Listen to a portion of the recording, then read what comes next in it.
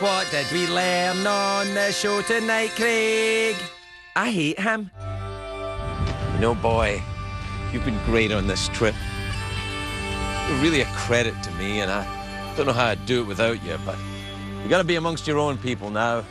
Gotta learn to live on your own four feet. Go, Secretariat! Go join your own people!